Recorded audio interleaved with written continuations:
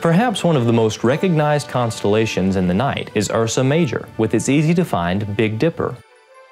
Within this region of bright stars, we find the spiral galaxy known as Messier 101 or the Pinwheel Galaxy. While it takes a fairly large telescope as well as dark skies to view, the Pinwheel is quite an impressive galaxy. M101 was first discovered by the French astronomer and surveyor Pierre Méchain in 1781, who later reported his findings to Charles Messier. Charles Messier added the galaxy as the 101st object to his famous catalog, thus the title Messier or M101. M101 is very large and believed to be twice the size of our own Milky Way.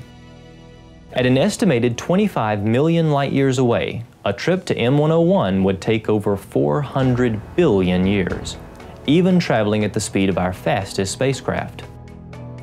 In photographs of this beautiful creation, we notice that the pinwheel's rings are not symmetrical all the way around the nucleus or the center of the galaxy.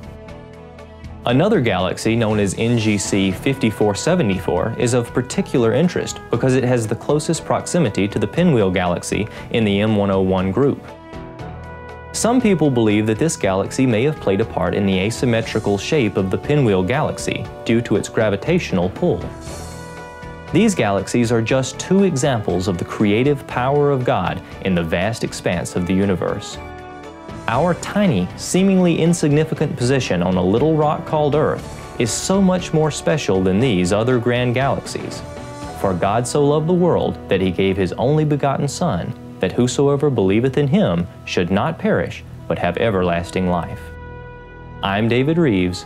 Truly, the heavens declare the glory of God. David Rives Ministries, The Heavens Declare the Glory of God an exciting one hour DVD on creation and biblical astronomy. Sign up for our email updates at davidrives.com to receive free content and videos. That's davidrives.com. The mysteries of the universe unfold in a manner that is easily understood. Great things past finding out, yea, and wonders without number.